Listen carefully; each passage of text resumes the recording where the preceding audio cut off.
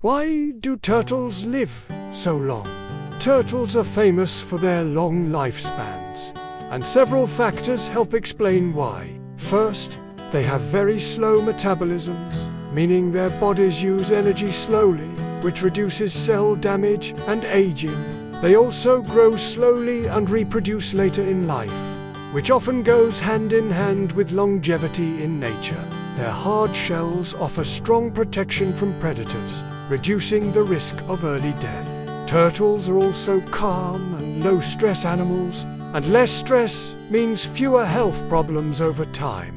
Some species can live over 100 years, and they continue to grow and function well even in old age. Scientists are still studying their biology to understand how they avoid many ag-related diseases. Basically, turtles take life slow and it seems to be the secret to living long and steady. Hit follow to know cool facts while scrolling.